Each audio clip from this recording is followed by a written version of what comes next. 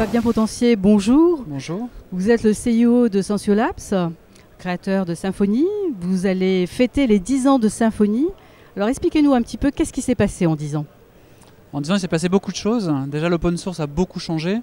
Euh, autant il était assez facile de créer un logiciel open source il y a 10 ans, autant aujourd'hui c'est beaucoup plus difficile. la barrière à l'entrée est beaucoup plus forte, euh, il y a beaucoup plus de compétition. Euh, et je suis bien content d'avoir commencé il y a 10 ans. et ceci étant, il y a 10 ans quand j'ai commencé, je ne pensais pas arriver là où on en est aujourd'hui. Donc c'était plus un projet technique à la base. L'idée de pouvoir créer une communauté autour d'un logiciel open source. Et puis, et puis voilà ce qui est arrivé en 10 ans. Alors justement, créer une communauté, c'est une chose. Votre licence est 100% open source et elle est euh, visiblement peu contraignante. Quel est donc votre euh, business model? Elle n'est pas du tout contraignante puisqu'on est en licence MIT, ce qui veut dire que tout le monde peut faire ce qu'il veut avec le logiciel, il peut même le vendre s'il le souhaite. Euh, donc ça c'est la grande force de, de cette licence, c'est justement d'être vraiment open source et de jouer le jeu à fond.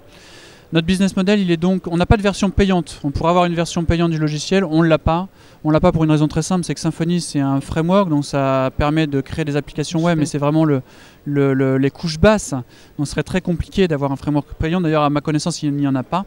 Donc on a un business model assez, euh, simple et assez euh, déceptif, j'ai envie de dire. On vend du service. Euh, on vend du service autour du logiciel, donc que ce soit de l'expertise, donc de la mise en œuvre de, Symfony, notamment chez les grands comptes, mais également de l'expertise, donc de la, de la, certification, de la formation. On organise aussi des conférences. Donc c'est en fait toute la partie service autour du logiciel et d'aider les entreprises à mettre en œuvre le logiciel de la meilleure manière possible. Aujourd'hui, par rapport à ce qui se passe aujourd'hui euh, sur cet événement, qui est un gros événement, euh, quel, est selon vous votre sentiment et comment vous voyez euh, le futur de l'open source? Le futur de l'open source?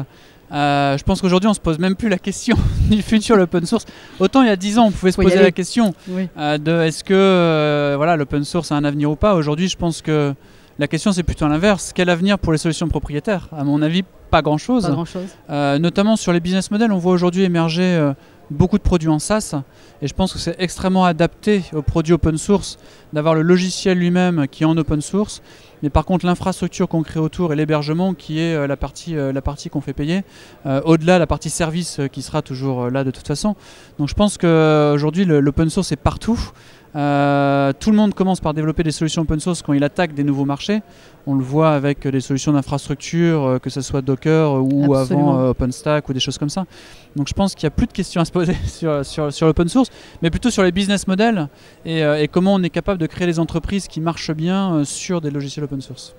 Ok, message reçu. Merci beaucoup. Merci.